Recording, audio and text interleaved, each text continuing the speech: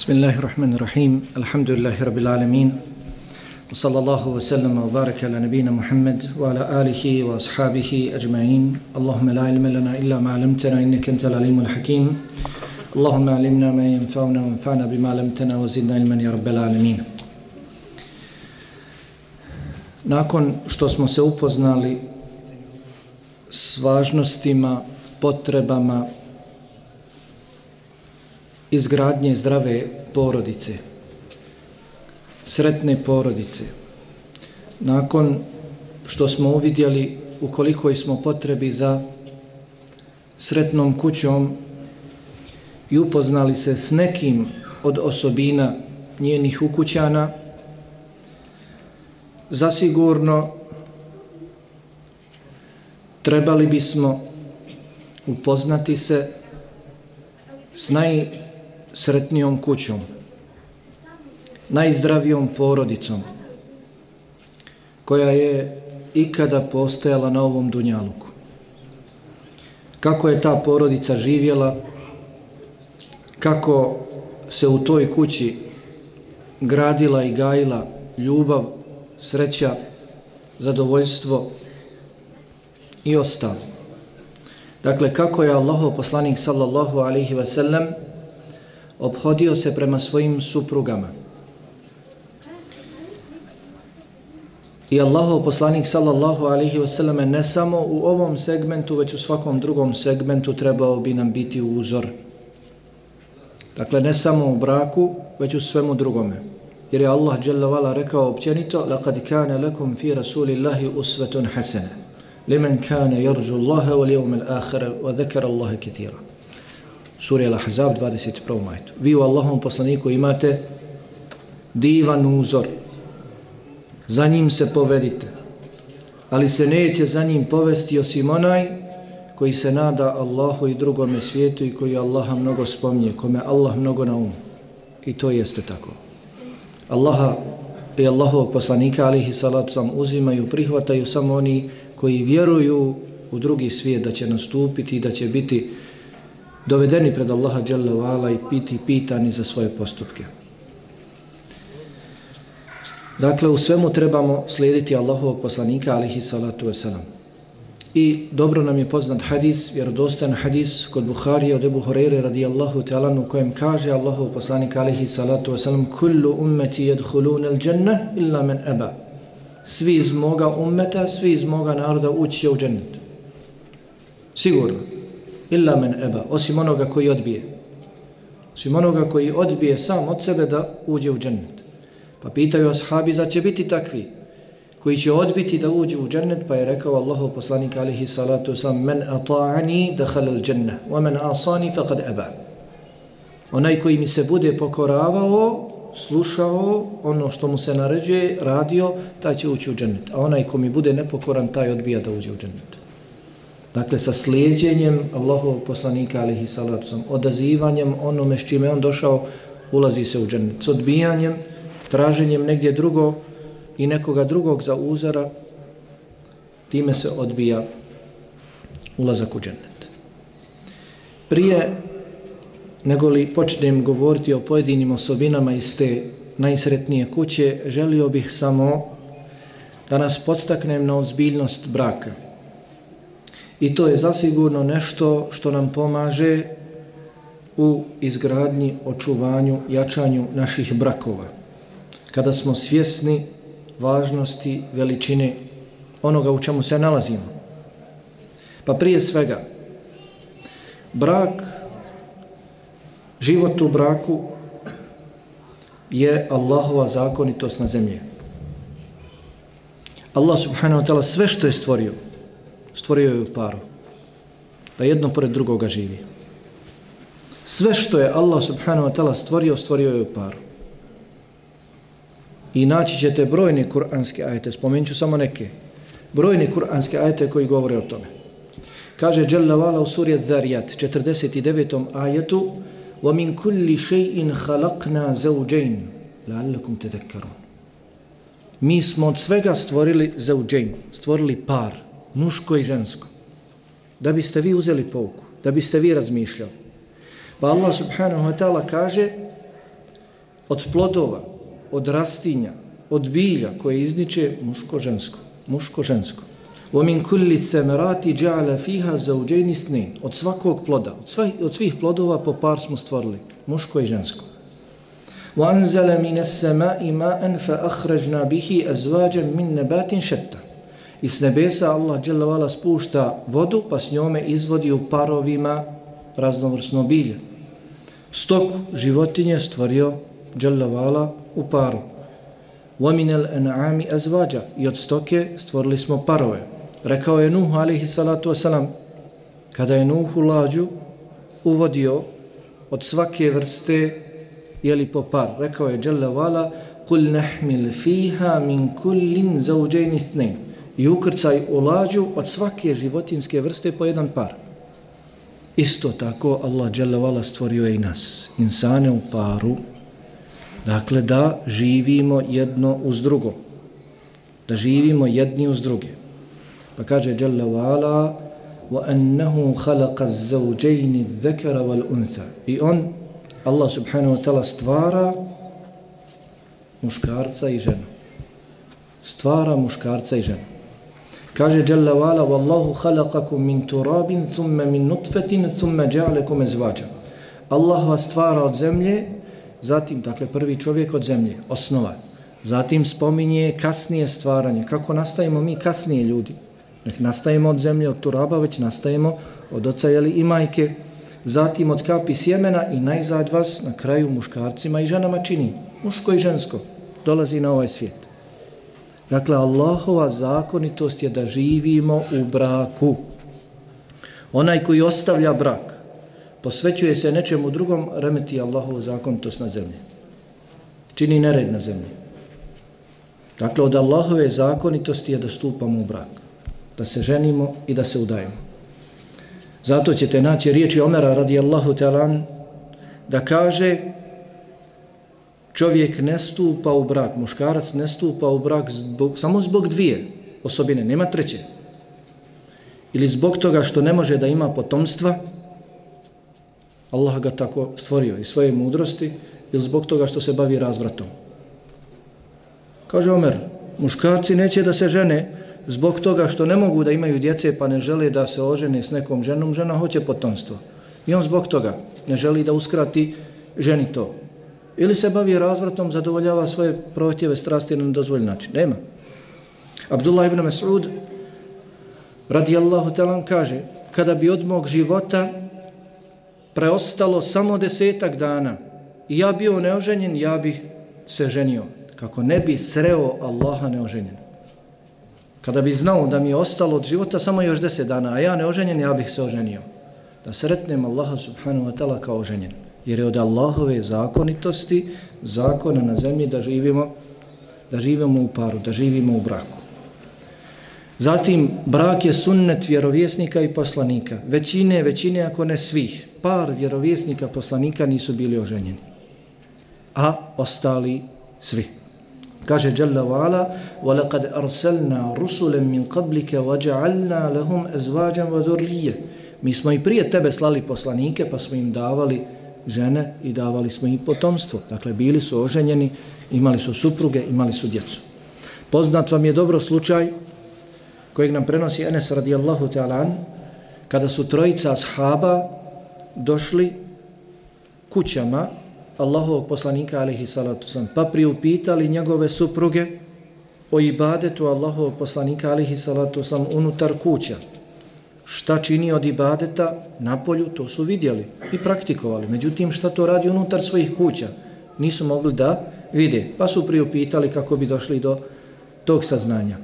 Pa kada su upitali, kada su bili obaviješteni, ovaj hadis ima mnogo citata, jedan od njih je rekao, to je malo, Smatrali su to malo, malo ibadeta, malim ibadeta. Drugi je rekao, on je Allahov poslanik, njemu je oprošteno i nema potrebe da mnogo ibadeti. A ko smo mi? Nama nije oprošteno. Pa je zato jedan od njih rekao, ja neću više jesti hranu. Od, dakle, danas ja postim. Drugi je rekao, ja više od večeras neću nikako spavati. Noći ću provoditi u ibadetu. A treći je rekao, ja neću se ženiti. Ja neću pristupati ženama, već se posvetiti ibadetu.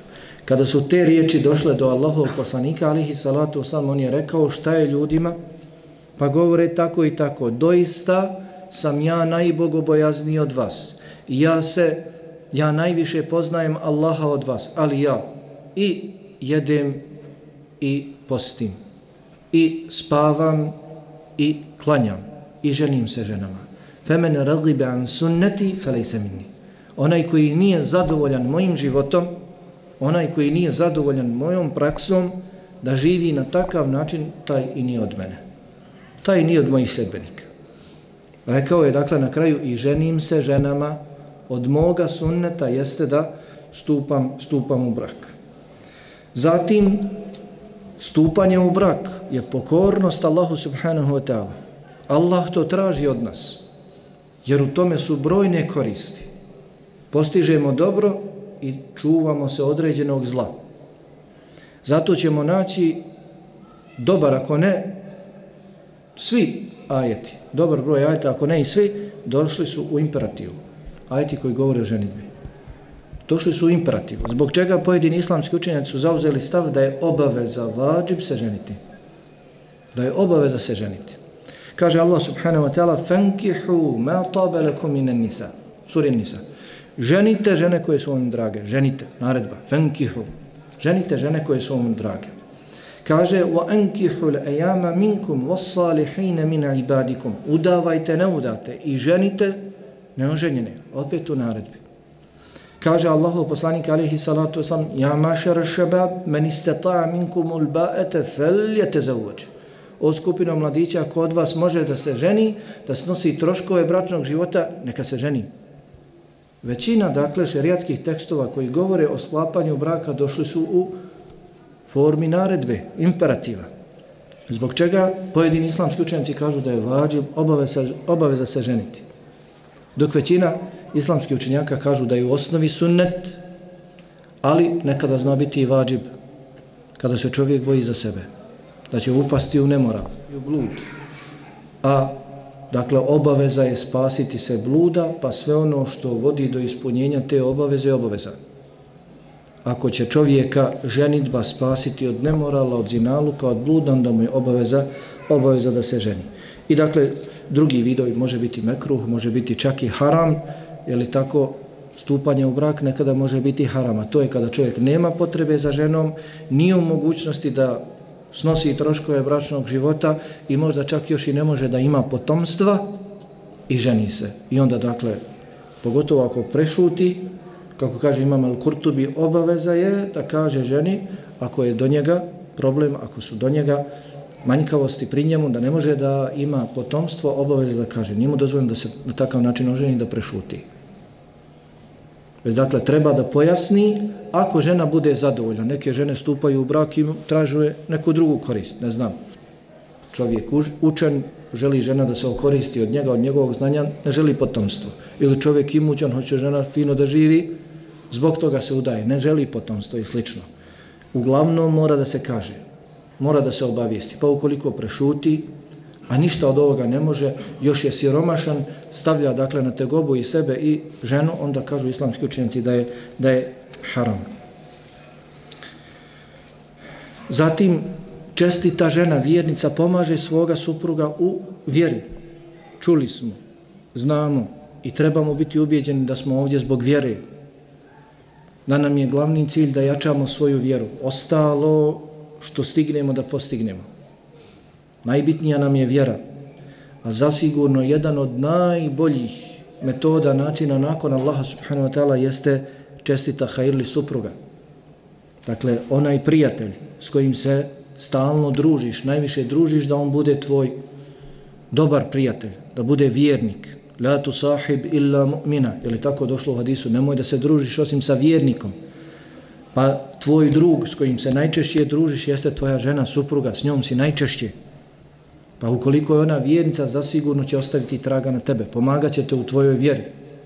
Čuli smo sinoć hadis kada su ashabi radijallahu anhum čuli za kuranske ajete koji govore o zekatu, o zlatu, zehebu jeli, i srebru, njegovom gomilanju, pa su rekli kada bismo mi znali koji je to najbolji imetak, doista najbolji imetak, zlato i srebro je iskušenje, ukoliko ljudi ne, bugu, ne budu ga udjeljivali, njime će biti kažnjavan. Iskušenje kada bismo mi znali doista koji je to najbolji imetak, pa da ga mi skupljamo.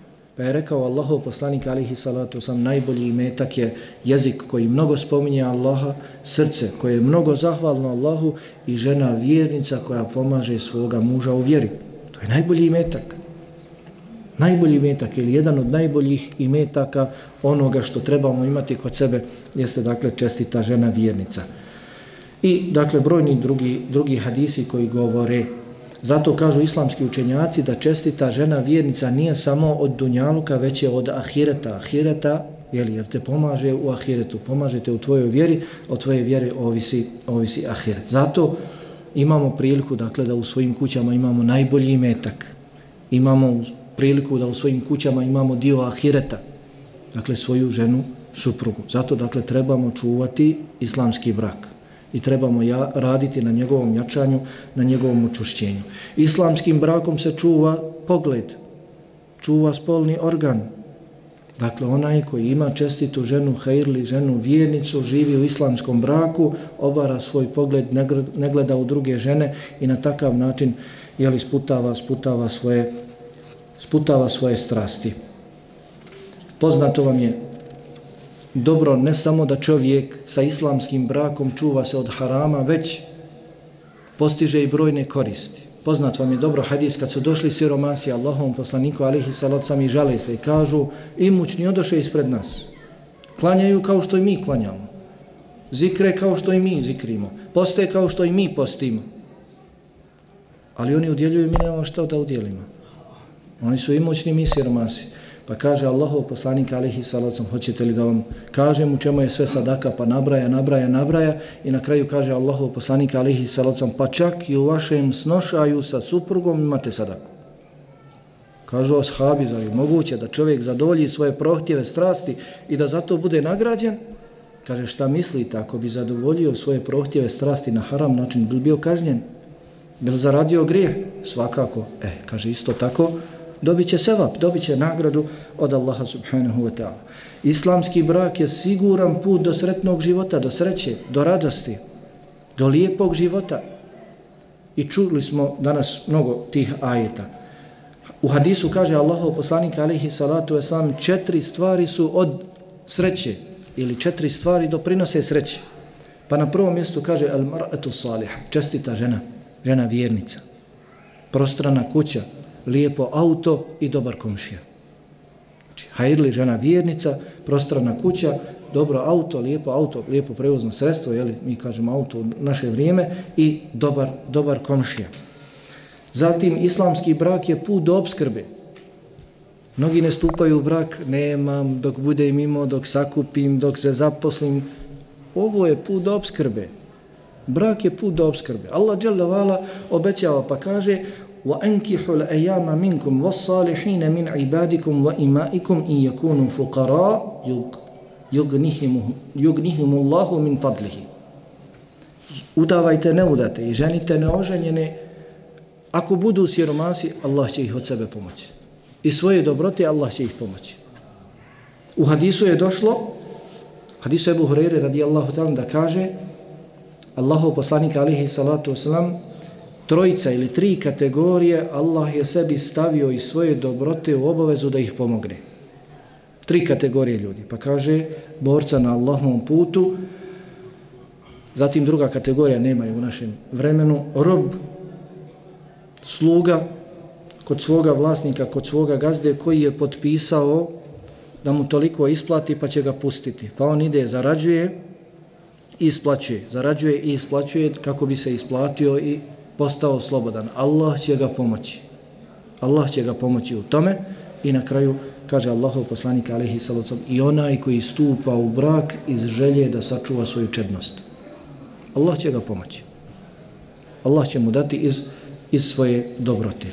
I, dakle, brojne druge koristi, da mnogo ne dužim jeli, s njim. Zasigurno, jeli, islamski brak čovjeka čini ozbiljnim. Inače, brak čovjeka čini ozbiljnim mogao si biti svakakav prije nego li si stupio u brak, ali kada stupiš u brak, odgovornosti ponio, ne brineš se više za sebe, već se brineš dakle i za druge, pogotovo kada dođe dijete jedno drugo, jeli slično, onda postaješ ozbiljniji čovjek, onda nema više kad hoćeš odeš, kad hoćeš se vratiš i slično, znaš dakle da imaš odgovornost i nad drugim, drugim ljudima. Zato poznato nam je da Allahov poslanik alihi salacom traži od nas, savjetuje nam da kada nam se neki brat oženi da učimo dovu za njega, jer je to prekretnica njegovog života. Njegov život se okreće, postaje potpuno drugačiji, potreban je pomoći, pa trebamo doviti Allahu dželevala da ga pomogne. Jeli? Zatim nakon toga nekoliko detalja iz života Allahovog poslanika alihi salatu wasalam. I ne bih volio dakle da samo to bude onako da saslušamo, već dakle da ukoliko spomenutog onog što ćemo spomenuti nema u našem životu da odlučimo dakle da se potrudimo da to da to zauzme i kako dobro mjesto u našem životu. Jer otprilike iako se može o ovome govoriti mnogo vidjeli smo koliko nam je brak bitan. Šta s njime postižemo? Kako, na koji način da usavršimo taj brak onoliko koliko je moguće na Dunjaluku, da se upoznamo sa brakom Allahovog poslanika alihi salatu sam. Zato, dakle, to, ako ćemo se samo upoznati i opet za leća baciti, neće nam mnogo pomoći.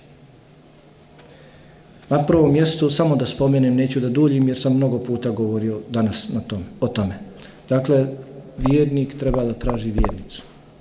Vjernik treba da traži vjernicu. I Allahov poslanik alihi salatu sam ženio je takve žene, koje su ili bile vjernice ili prihvatale vjeru islam, pa dakle uglavnom, su, uglavnom je živio sa vjernicima. Nakon toga Allahov poslanik sallallahu alihi wasallam volio je svoje supruge. Dakle i ovo je ne samo predavanje za vas, braćo iako govorimo Allahom poslaniku alihi sallam, govorimo o muškom rodu, obraćamo se muškima, ali dakle, rekli smo na početku, sam podvukao da je Allahov poslanik alihi sallam svima nama uzor. Dakle, kako muškima, tako i ženskima. Pa dakle, sve ono što se čuje, ako se govori zbog, ne znam, nemogućnosti nekada da se izrazi u oba jeli roda, ako se govori u muškom rodu, neka žene znaju da se to odnosi i na njih. Pa dakle, Allahov poslanik alihi salacom je volio svoje supruge, zasigurno i one su voljele poslanika alihi salacom. Mi trebamo voljeti svoje supruge i naše supruge trebaju voljeti nas. Poslanik sallallahu alihi sallam nimalo se nije libio, nimalo se nije stidio da kaže čak i drugima da voli svoju suprugu. I mi ne trebamo se stiditi. Čuli smo šta postižemo sa hajirli čestitom ženom vjernicom. I zašto da se stidim da kažem nekome da volim?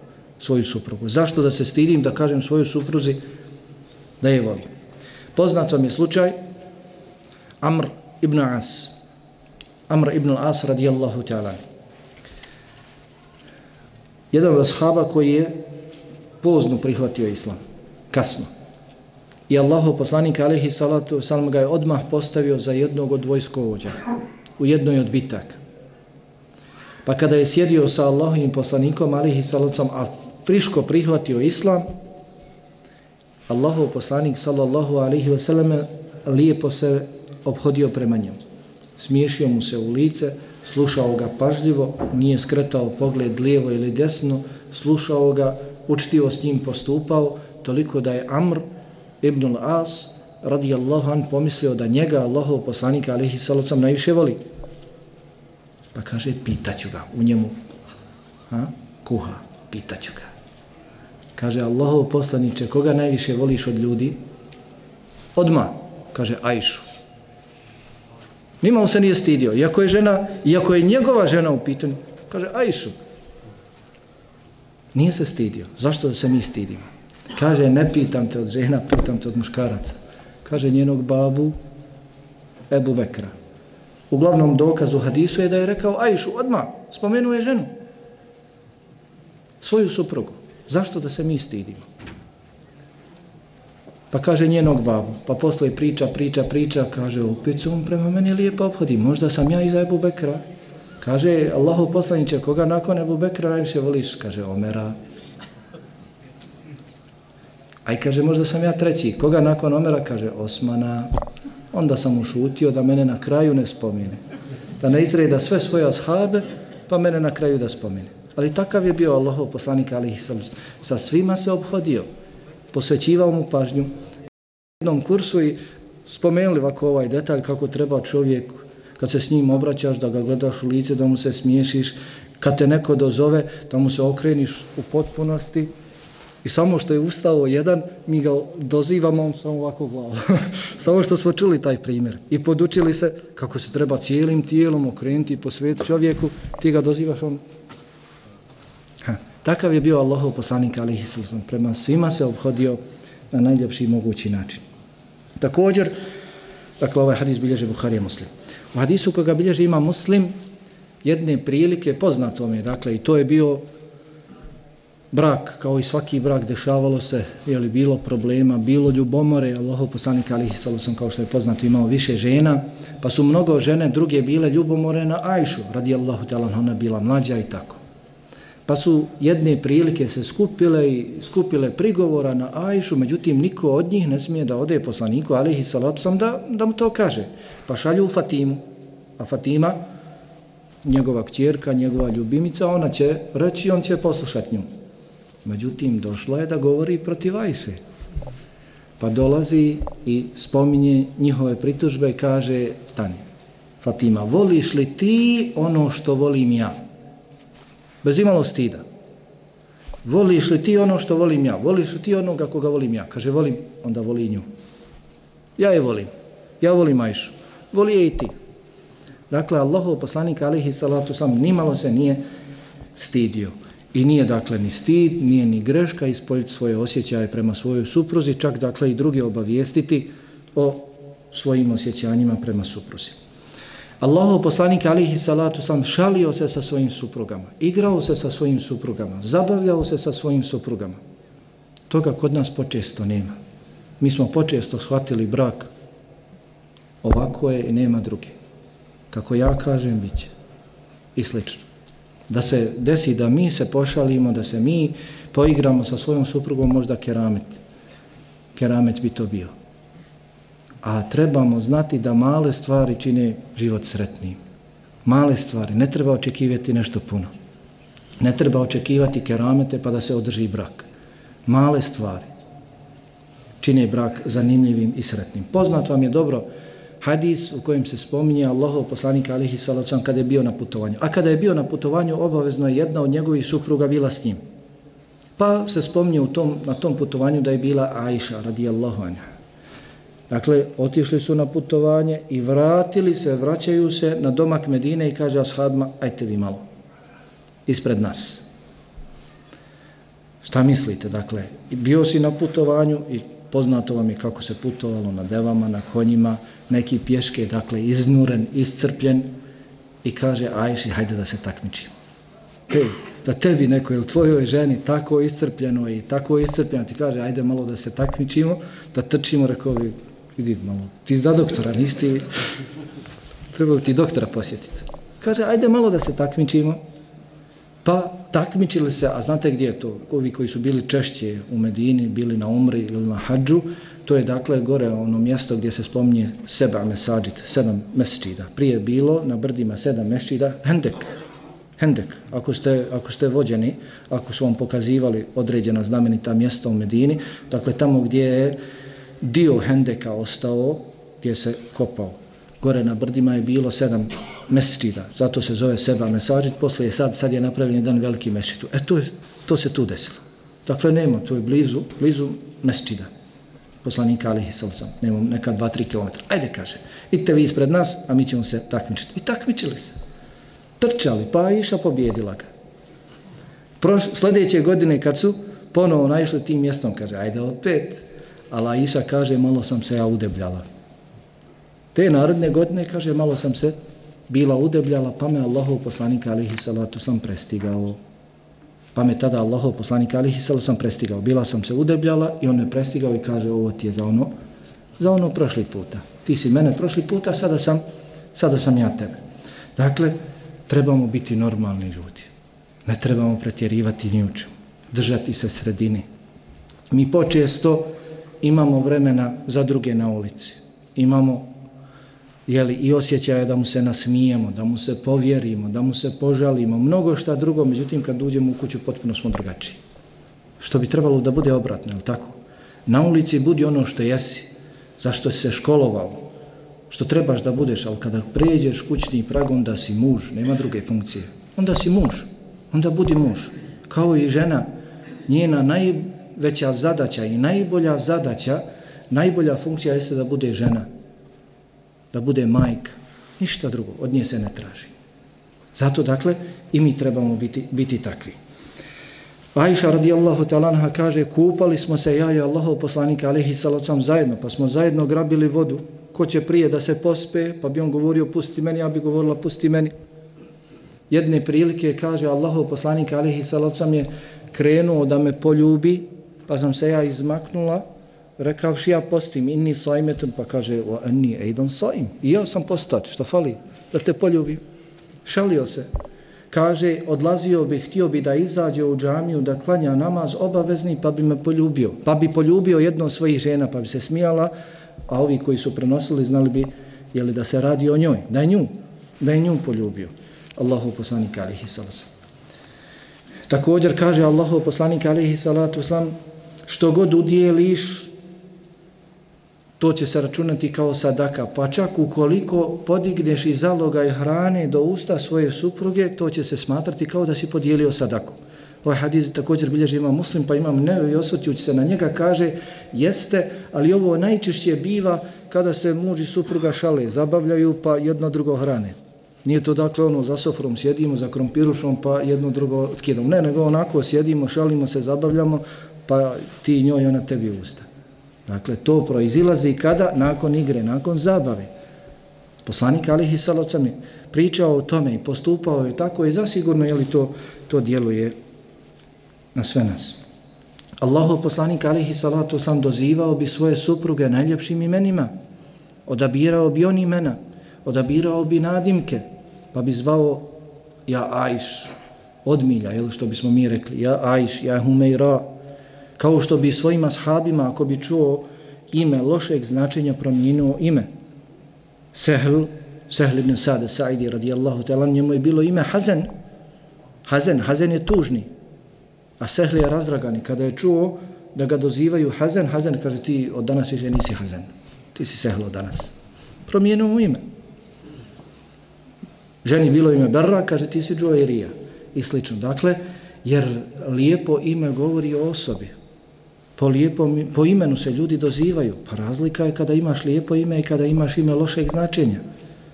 Možda osjetiš nelagodu, možda bivaš ponižavan tima, pogotovo ako ti neko nadije jeli nadimak.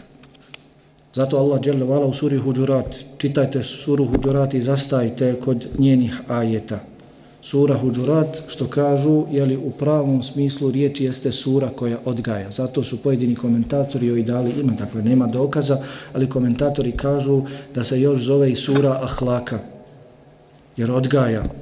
Pa Allah subhanahu wa ta'ala na početku govori kako da bude, kakav da bude naš odnos prema Kur'anu, kakav da bude naš odnos prema sunnetu, kakav da bude naš odnos prema ljudi, nepoštenih ljudi koji nam dolaze s bitnim vijestima, kako, kakav da bude naš odnos prema muslimanima kada se sukobe, kakav da bude naš odnos prema nas muslimana kada smo u slozi, kada smo u zajednici.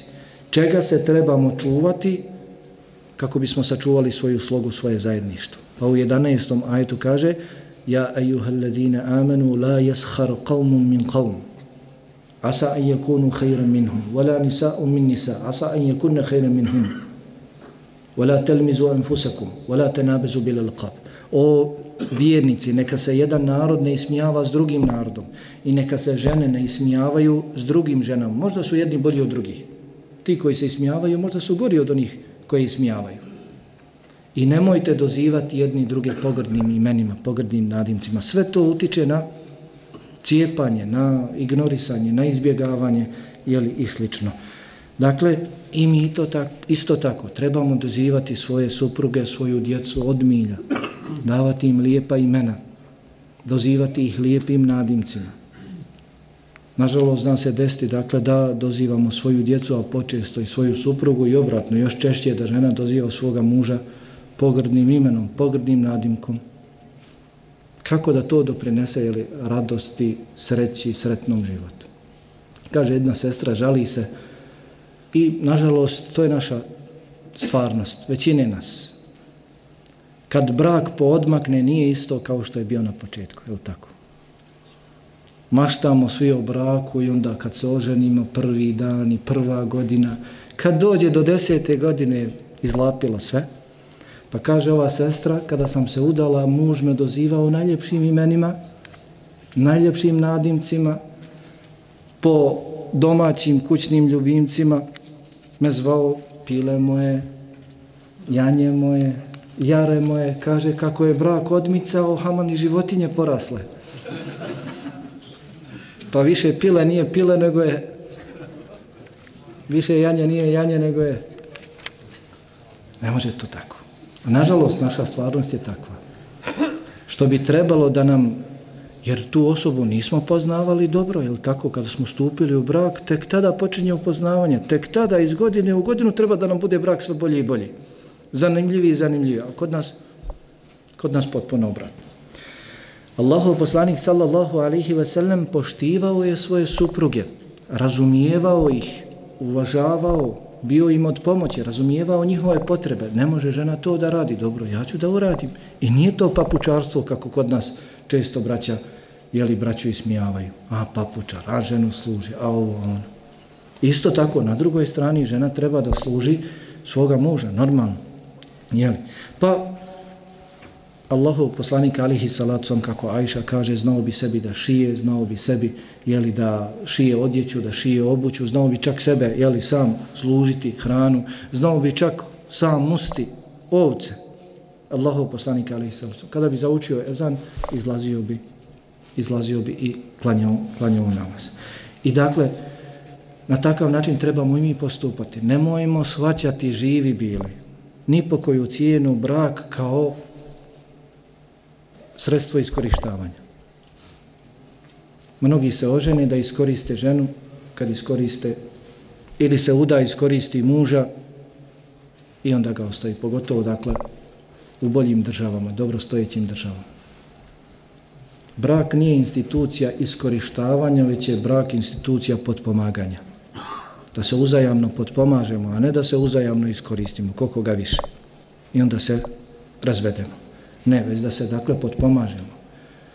Žena vjernica trebala bi, i mi vjernici trebali bismo da znamo da druga strana nije u potrebi za imetkom. Ona nije došla od svoga babe tebi zato što je željna imetka. Zato što je željna tvoje kuće. Imala je kod svoga babe kuću, imala je kod svoga babe imetak, imala je kod svoga babe auto, imala je sve. Ona želi tebe, ona želi da živi s tobom, ona želi da se smiri uz tebe. Isto tako ti uz nju. Dakle, nema iskorištavanja, već, već podpomaganje. Hm.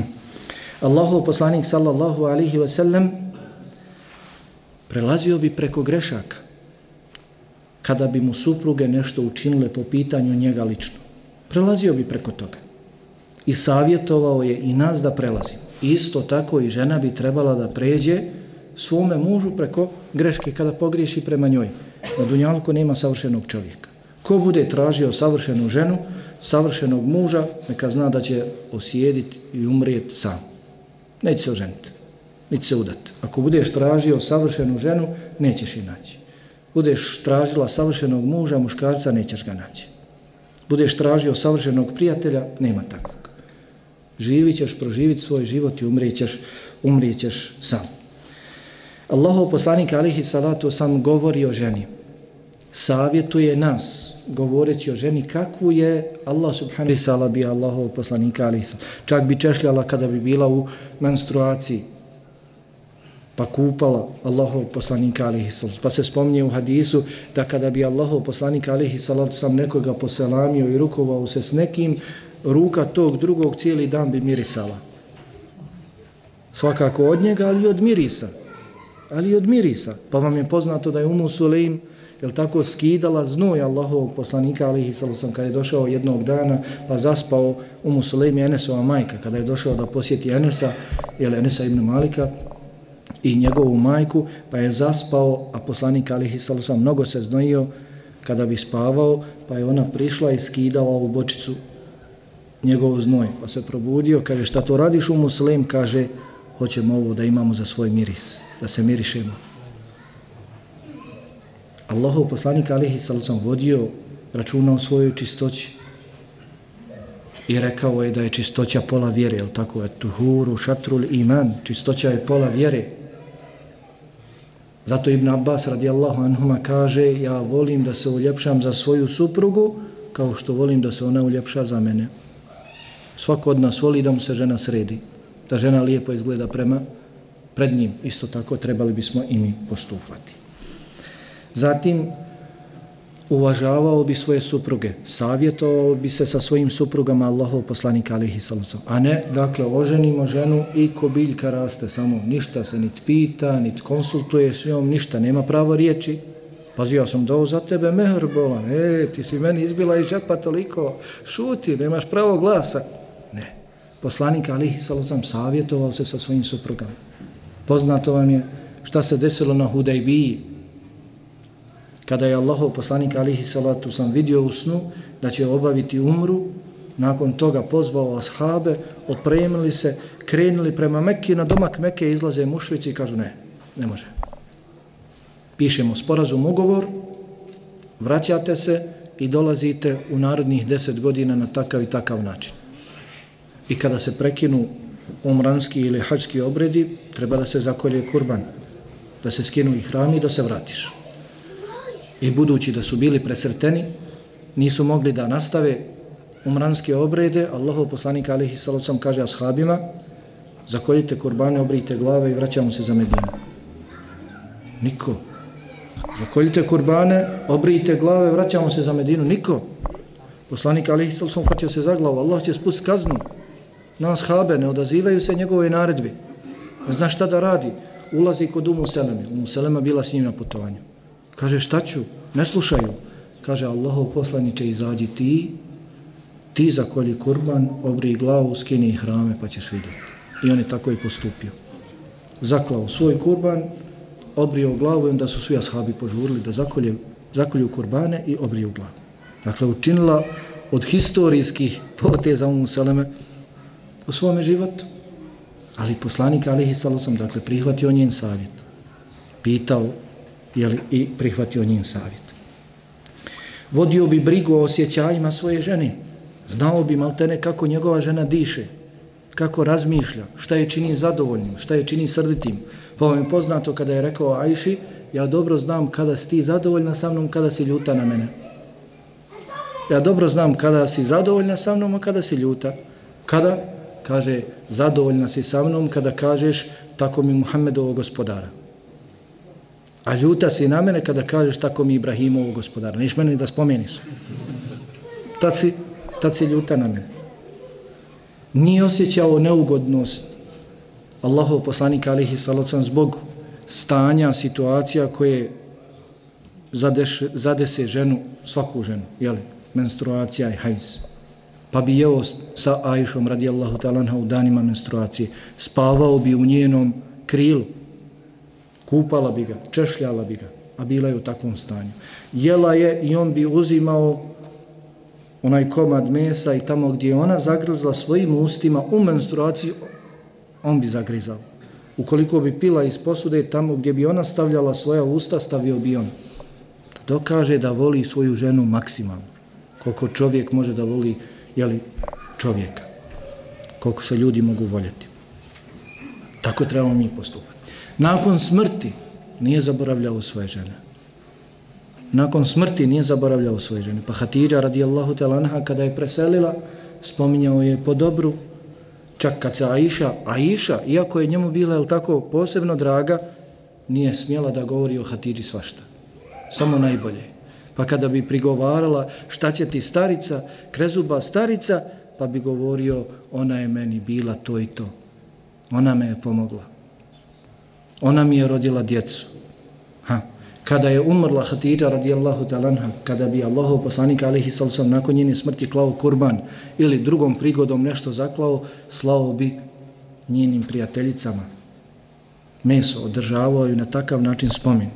Jedne prilike dolazi starica Allahom poslaniku alihi sallam i progovara i on kao da se izgubio, skida svoj ogrtač i prostire. Da žena sjedne, starica, kaže ko je, to je prijateljica od Hatidže.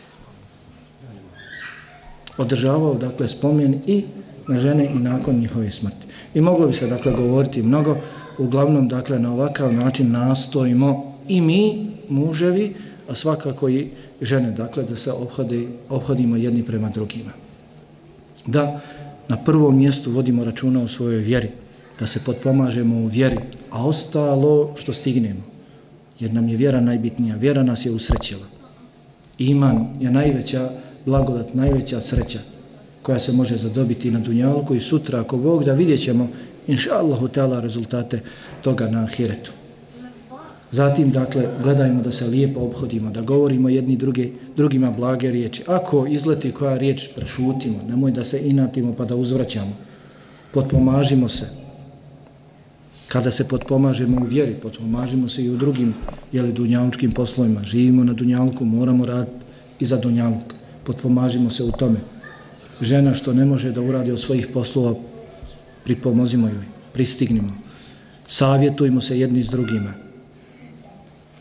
Imam Zehebi, rahimehullahu ta'ala, kaže, poznato, Imam Zehebi govori o prenosiocima u svome dijelu Sijara Lami Nubela, koja ima 28 tomova. Od vremena Allahovog poslanika, alihi salacom, do svoga vremena. On je preselio 774. godine po Ižri, govori o najznamenitijim ličnostima. Kada govori o ženama kao prenosiocima, kaže, ne znam za ženu da je žena griješila u prenošenju. Savjetuj se sa ženom. Žena, žene znaju biti često jeli, pronicljivije od nas. Dakle, treba se savjetovati, treba uvažavati. Jeli, treba znati šta je čini zadovoljnim. Treba i ona da zna šta nas čini, šta nas čini zadovoljnim. Uljepšavati se jedni za druge i slično, dakle, kako je bilo, kako je bilo spomena. Subhanak Allahumma bihamdika ashhadu an la ilaha illa anta astaghfiruka wa atubu ilaik. Sam došla, skinula i legla. A on došao, skinuo se i legao, međutim, Ajša tiše užurbano. Kaže, šta ti je? Nemoj da se praviš da spavaš. Zašto si zadihana? Možeš sakriti. Užurbano disala. Pa kaže Allah posljednice tako i tako. Da se to nama desi, da nas žena špionira, da nas prati, da u nas žena uzme telefon pa pregleda poruke i pozive po telefonu, šta bi bilo s njom? I poslanik Alihi Salacom sjedi pored nje i pojašnjava sve. Kaže, došao mi je Džibril ispred vrata. Htio da uđe, pa nisam, da tebe ne probudi. Pa sam polahko obukao odjeću i izašao. Zvao me da idem do Bekije, da se oprostim sa umrlima u Bekiji. Došao i pojašnjava. Sjedi pored svoje supruge i pojašnjava. Spominje se da je jedne prilike Omeru radijallahu talan čovjek krenuo da se požali na svoju suprugu.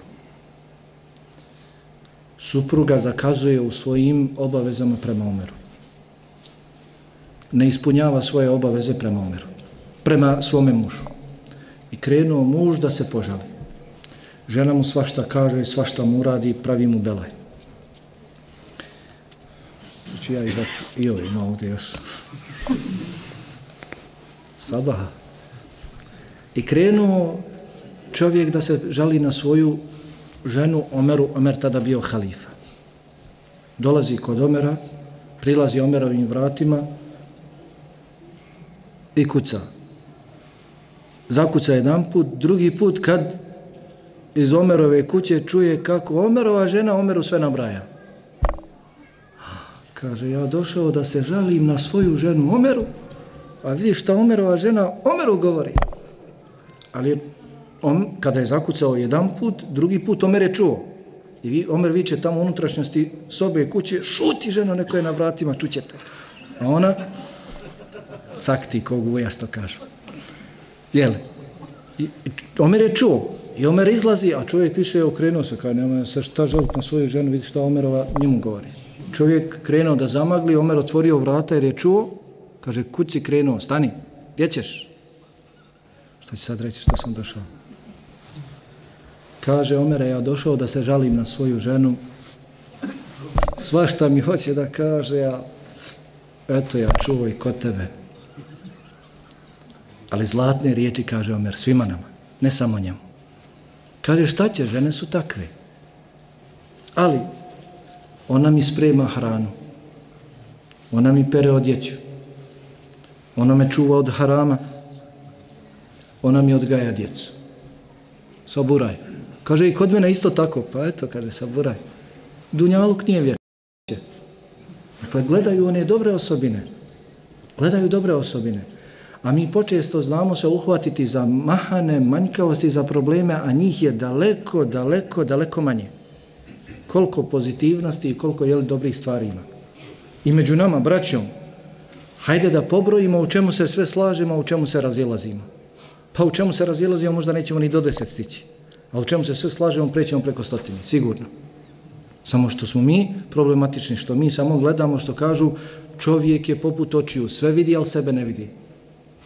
Oči sve vide, samo sebe ne vide. Sve drugo vide, samo sebe ne vide. Tako i smo mi. Poznat vam je slučaj kako je Allahov poslanik alihi salatu wasalam ispravio grešku kod Abdullaha ibn Omera. Kada je Abdullah ibn Omer radijallahu anhuma usnio san, dvojica mu ljudi došli i odveli ga i pokazali mu mnogo šta, meleke. Pa je požurio nakon sabaha, bila je praksa Allahov poslanika, alihi ih salacom da pojasni ako je neko nešto sanjao, da mu protumači. Kaže, međutim, tu je bio Ebu Bekr, imao je on svoj san. Bio je Baba Omer, imao je on svoj san. Bilo je starih ashaba, ja nisam mogao da dođem na red. A Allahov poslanik ali ih salacom ne može da sjedi dugo. Pa je otišao, a ja sam otišao svojoj sestri, Hafsa, Abdullahova, sestra Hafsa je bila udata za Allahovim poslanikom alihi salatu. Pa sam joj ispričao san, kada dođe Allahov poslanik alihi salatu sam obavijesti ga, dobro saslušaj tumačenje pa ćeš mi reći. Pa je došao Allahov poslanik alihi salatu. Kaže Hafsa bio Abdullah. Šta je htio Abdullah? Kaže tako, tako, tako. Pa kaže, kako je rekao? Rekao je Allahov poslanik alihi salatu za Abdullaha, ni'ma rajul Abdullah. Divan li Abdullah čovjek. Lau kane yusalli min al-lejl kad bi samo još klanjao noćni namaz. Prvo, prvoga u zvijezde zakovao. Divan li je? Nema boljeg čovjeka od Abdullaha. Samo kad bi još klanjao noćni namaz. A mi prvo loše brojimo, brojimo, brojimo, ako se sjetimo kojeg dobra da spomenemo. I kako da popravljamo ljude? E, dakle, na ovakav način trebamo trebamo postupati. Dakle, prelaziti preko grešaka okretati se prema onim postupcima, prema onim dijelima, prema onim osobinama kod svog bračnog druga koje nas čine zadovoljni. Osim toga, ne smijemo se inatiti. Ako bračni drug ne postupa prema nama dobro, to ne znači da mi trebamo uzvratiti istom mjerom, jer nam je Allah naredio da se lijepo obhodimo. Nije mi to žena moja naredila, hej, ti moraš prema meni biti takav, niti ja svojoj ženi. Allah nam je naredio wa ashiru hunne bil maruf i s njima lijepo živite. Naredba. I s njima lijepo živite, to nam je Allah naredio. Allah nam je naredio lijepo ponašanje. Nije to što je meni čef da se ja prema tebi lijepo obhodim. Znači Allah to traži od mene. Allah koji mi je naredio namaz, koji mi je naredio post, koji mi je naredio ostale ibadete, on mi je isto naredio da se lijepo obhodim. Lijepo obhodim. Čuli smo danas koliko je vrijedan ibadet. Allahu najdraži robovi koji su najljepšeg ahlaka, ponašanja. Pa se prenosi od jednog halife, njegov ministar prenosi. Bio sam kod halife, sjedili smo, pričali, pa je zvao svog slugu. O slugo, o slugo. Nekoliko puta ga zvao, kad izlazi sluga, gro, otvara vrata. I ovako se podbočio. Kaže, o slugo, o slugo, o slugo, dokle više? Sluga na svog vlasnika, na halifu još izdere se. Kaže, dokle više? Zar sluga ne treba da spava? Zar sluga ne treba da jede? Zar sluga ne treba da pije? Ovaj ministar se ufatio za glavu, kaže, sad će pozvat, ode glava. A ovaj halifa se okreće njemu i smije se. Kaže, vidiš, kad se ti lijepo ponašaš prema drugom, vidiš kako ti on uzvrati. Kaže, kada se mi ponašamo strogo prema svojim slugama, slušaju nas u bocu, što god narediš, ispunjava. A kad im pustiš, kad se lijepo ponašaš prema njima, ovako se uzdignu. Nakon toga rekao je zlatne riječi. Tako mi Allah. Nećemo se prema njima loše ponašati da bismo zadobili njihovo lijepo ponašanje. Mi ćemo se prema njima lijepo ponašati jer nam je to naredio Allah, makar se oni prema nama loše ponašali. To se traži od nas. Allah nam je to naredio. Ma kako drugi ljudi. Kako kažu, nije lijepo ponašanje da se prema drugima lijepo opodiš. Nije samo to. Čak neki učenjaci definišu ovako lijepo ponašanje. Nije lijepo ponašanje da se lijepo opodiš prema drugom. Već je lijepo ponašanje da saburaš na tuđem lošem ponašanju. Da si strpljiv na tuđem lošem ponašanju kako se on loše obhodi, obhodi prema tebi. Dakle, ovo je bitna osobina. Trebate podvući sa deset crta. Dakle, da moramo prelaziti, jer nema savršene osobe, nema savršenog muškarca, niti ima savršene žene. I moramo prelaziti preko grešaka jedni drugima. Možda onome što nas čini nezadovoljnim, možda je u tome Allah dao korist za nas. Strpi se, nakon strpljenja zasigurno dolazi lijepa završnica. Niko se nije strpio, a da mu Allah subhanahu wa ta'ala nije dao još bolje. Kako kaže Allah subhanahu wa ta'ala u spomenutom 19. majitu sure Nisa وَعَشِرُهُنَّ بِالْمَعْرُوفِ فَإِنْ كَرِهْتُمُهُنَّ فَعَسَا أَنْ تَكْرَهُ شَيْئًا وَيَجْعَلَ اللَّهُ فِيهِ خَيْرًا كَثِيرًا Sa ženama, s njima lijepo živite. Ako prema njima odvratnost osjetite ili ste nezadovoljni nekom osobinom, moguće je da baš u onome prema čemu osjećate odvratnost, čime ste nezadovoljni, da vam Allah da veliko dobro. Veliki islamski učenjak, komentator iz Malikijskog mesheba, Ibn Larabi. Ibn Larabi. U komentaru ovoga ajeta, 19. ajeta sure Nisa u svome, dakle, tefsiru, ovo dolazi od žena, man. Hm? Jadni, list, jadni liste. U komentaru ovoga ajeta spominje slučaj šeha Ebu Muhammeda ibn Bizejda, koji je bio mnogo učen. Imućan čovjek, bio učen, šarijatsko znanje, bio imućan, bio poznat, nadaleko znalo se za njega, međutim, bio je poznat i po ženi, koja ga uznemiravala. Imao je svoju ženu koja je bila loša, a on je svo vrijeme saburao s njom. Pa su mu njegovi učenici govorili, šta ti je, bolan? Ti učen, svaka žena bi htjela da se uda za tebe. Još imućan, poznat na daleko, razvedi je, pusti je, oženi se, svaka će se udati za tebe. Pa je govorio, Allah mi je dao brojne blagodati. Najveću blagodat, vjeru, zatim znanje, dao mi je i metak, kaže, nije me ničim iskušao osim s njom. A ja na njenom iskušenju mogu da saburam. Ako bih ja razveo, možda bi me Allah iskušao većim iskušenjem na kojem ne bi mogao saburati. Allah mora nečim svoga roba da iskuša. Kaže, ovo je moja kušnja, ja na tome mogu da saburam. Ako bih je pustio, Allah zna, čime bi me on iskušao. Također, Muhammed Lutfi Sabag spominje svog prijatelja koji je pitao svog šeha. Dakle, njegov prijatelj učio je kod drugog šeha i kao što svaki učenik, jeli, ponekada osami se sa svojim šejhom, traži savjeta, pa je ovaj pitao svoga šejha o njegovom životu, bračnom životu. Kako živi? Kakva je njegova porodca? Kaže, sinko, ja sam već 40 godina u braku. Od tih 40 godina ni jedan mi dan s mojom ženom nije bio sretan.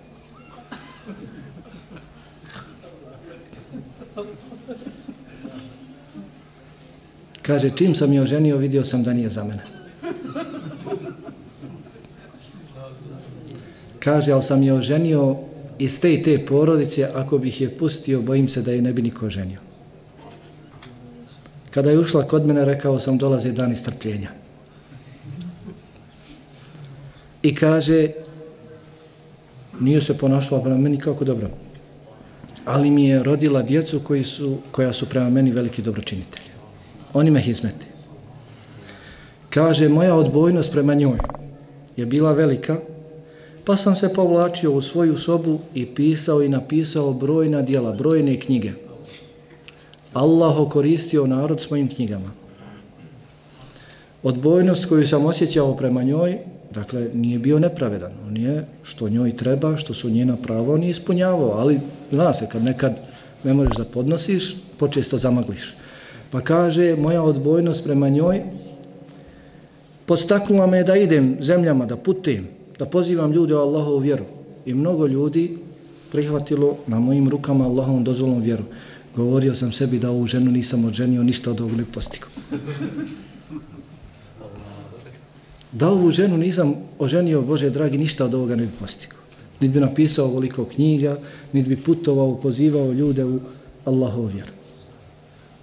Zato nemoj odma na prvu da se pališ. Ona, ti drugu odma. Ne, već saburaj. Čak, možda ste, jeli braća su to na jednom predavanju isjekli kad sam pričao, čak šeh Ebu Ishak el Huvejni spominje koristi života sa neposlušnom ženom koja ne ispunjava svoje obaveze prema tebi. Svašta ti kaže, svašta ti uradi, napravi ti belaj, kaže ima koristi u životu s takvom ženom. Kad ima koristi u životu s takvom ženom, kako onda da nema koristi sa čestitom ženom, ili vjernicom? Pa kaže, neposlušna žena, koja ti svašta hoće reći, svašta ti hoće uraditi, skandal ti u kući napraviti, postiče te na zikr. Da zikriš Allah. Žena tebi jedno, a ti, subhanallah, ženo. La ilaha illallah, la ilaha illallah, šta ti je ženo? Subhanallah. Če ćeš to reći? Ona više tebe ezijeti i ti zikriš više. Postiče te na zikr. Kad bi ti toliko zikrio? Neposlušna žena postičete na održavanje rodbinskih veza. Kad znaš šta te čeka kod kući, ne ide se kući. Kad znaš šta te čeka kod kuće, ne ide se kući. Gdje ćeš otići? Otićeš svojoj majci, otićeš svojome babi, bratu, sestri, tetki. Kad bi ti otišao od tetki? Ovako češće izmagliš. Imaš izgovor. Bio kod tetke, bio kod mame. Neposlušna žena pomaže ti u obaranju kilaže. Ništa ti se ne mili od nje da jedeš. Ne jedeš. O, pomažete u obaranju pogleda. Ako bi htio neku drugu, sve su one u PDK iste. Ako bi htio da poglaš, da se ženiš, sve su žene iste. Dakle, ima koristi u životu s neposlušnom ženom, a kamo li dakle u životu sa poslušnom ženom. Allahov poslanik sallallahu alihi wasallam uljepšavao bi se za svoju suprugu. Obuči, oblačio bi lijepu odjeću, mirisao bi se. Poznati su vam brojni hadisi. Aisha radijallahu ta'ala češljala sam Allahov poslanika alihi Mirisala bi Allahov poslanika alihi Čak bi češljala kada bi bila u menstruaciji pa kupala Allahov poslanika alihi salatu. Pa se spomnije u hadisu da kada bi Allahov poslanika alihi salatu sam nekoga poselamio i rukovao se s nekim, ruka tog drugog cijeli dan bi mirisala. Svakako od njega, ali od mirisa. Ali od mirisa. Pa vam je poznato da je Umu Suleim jel tako skidala znoj Allahovog poslanika alihi salatu kada je došao jednog dana pa zaspao Umu Suleim i Enesova majka. Kada je došao da posjeti Enesa, jel Enesa ibn Malika, i njegovu majku, pa je zaspao, a poslanik Alihi Salusa mnogo se znojio kada bi spavao, pa je ona prišla i skidala u bočicu njegov znoj. Pa se probudio, kaže šta to radiš u muslim, kaže hoćemo ovo da imamo za svoj miris, da se mirišemo. Allahov poslanik Alihi Salusa vodio računa o svojoj čistoći i rekao je da je čistoća pola vjere, jel tako je tuhuru, šatrul iman, čistoća je pola vjere. Zato Ibn Abbas radijallahu anhuma kaže ja volim da se uljepšam za svoju suprugu kao što volim da se ona uljepša za mene. Svako od nas voli da mu se žena sredi, da žena lijepo izgleda prema pred njim. Isto tako trebali bismo i mi postupati. Zatim, uvažavao bi svoje supruge, savjetovao bi se sa svojim suprugama Allahov poslanika alihi salacom. A ne, dakle, oženimo ženu i ko biljka raste samo, ništa se niti pita, niti konsultuje s njom, ništa, nema pravo riječi. Pazio sam dao za tebe mehr bolan, e, ti si meni izbila iz džepa toliko, šuti, nemaš pravo glasa.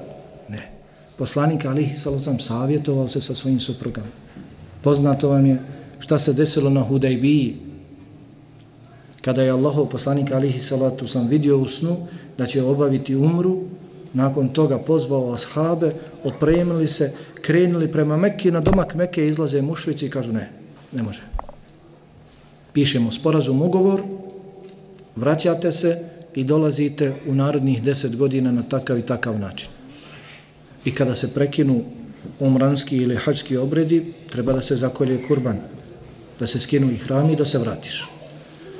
I budući da su bili presrteni, nisu mogli da nastave umranske obrede, Allahov poslanik alihi salocam kaže ashabima, zakoljite kurbane, obrijte glave i vraćamo se za Medinu. Niko. Zakoljite kurbane, obrijte glave, vraćamo se za Medinu. Niko. Poslanik alihi salocam hvatio se za glavu, Allah će spust kaznu na ashabe, ne odazivaju se njegove naredbi. Ne zna šta da radi. Ulazi kod Umu Seleme. Umu Selema bila s njim na putovanju.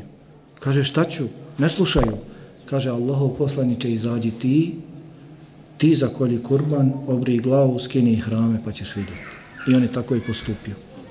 Zaklao svoj kurban, obrio glavu i onda su svi ashabi požurili da zakolje, zakolju kurbane i obriju glavu. Dakle, učinila od historijskih poteza Umu Seleme u svome životu.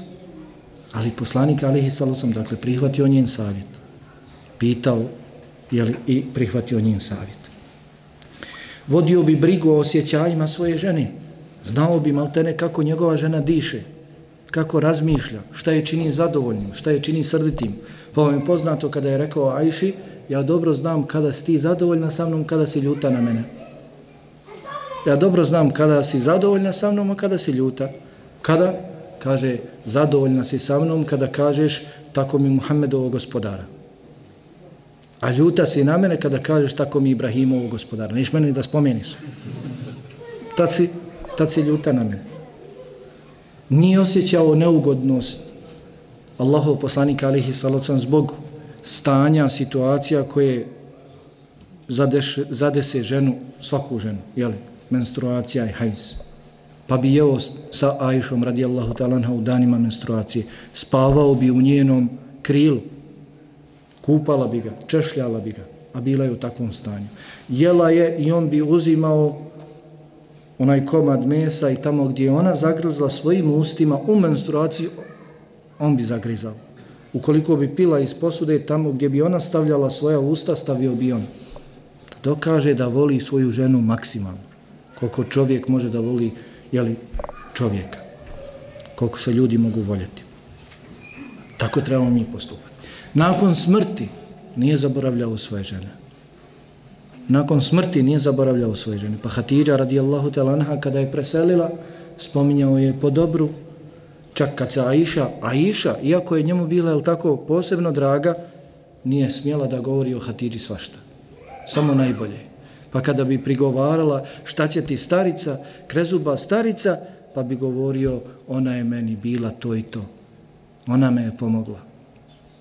Ona mi je rodila djecu. Ha. Kada je umrla Hatidža radijallahu talanha, kada bi Allahov poslanik alihi salsam nakon njene smrti klao kurban ili drugom prigodom nešto zaklao, slao bi njenim prijateljicama. Meso održavao ju na takav način spomin. Jedne prilike dolazi starica Allahom poslaniku alihi salsam i progovara i on kao da se izgubio, skida svoj ogrtač i prostire da žena sjedne, starica, Kaže, ko je? To je prijateljica od Hatidže. Održavao, dakle, spomen i na žene i nakon njihove smrti. I moglo bi se, dakle, govoriti mnogo, uglavnom, dakle, na ovakav način nastojimo i mi, muževi, a svakako i žene, dakle, da se obhode, obhodimo jedni prema drugima. Da na prvom mjestu vodimo računa o svojoj vjeri, da se potpomažemo u vjeri, a ostalo što stignemo jer nam je vjera najbitnija. Vjera nas je usrećila. Iman je najveća blagodat, najveća sreća koja se može zadobiti na Dunjalku i sutra, ako Bog da vidjet ćemo, inša Allahu teala, rezultate toga na Ahiretu. Zatim, dakle, gledajmo da se lijepo obhodimo, da govorimo jedni druge, drugima blage riječi. Ako izleti koja riječ, prešutimo, nemoj da se inatimo pa da uzvraćamo. Potpomažimo se, kada se potpomažemo u vjeri, potpomažemo se i u drugim jeli, dunjalučkim poslovima. Živimo na dunjalku, moramo raditi i za dunjaluk. Potpomažimo se u tome. žena što ne može da uradi od svojih poslova, pripomozimo joj, pristignimo. Savjetujmo se jedni s drugima. Imam Zehebi, rahimehullahu ta'ala, kaže, poznato, Imam Zehebi govori o prenosiocima u svome dijelu Sierra Lami Nubela, koja ima 28 tomova. Od vremena Allahovog poslanika, alihi salacom, do svoga vremena. On je preselio 774. godine po Iži, govori o najznamenitijim ličnostima. Kada govori o ženama kao prenosiocima, kaže, ne znam za ženu da je žena griješila u prenošenju. Savjetuj se sa ženom. Žena, žene znaju biti često jeli, pronicljivije od nas. Dakle, treba se savjetovati, treba uvažavati. Jeli, treba znati šta je čini zadovoljnim. Treba i ona da zna šta nas čini, šta nas čini zadovoljnim. Uljepšavati se jedni za druge i slično, dakle, kako je bilo, kako je bilo spomene. Subhanaka Allahumma bihamdika la ilaha illa anta astaghfiruka wa atubu.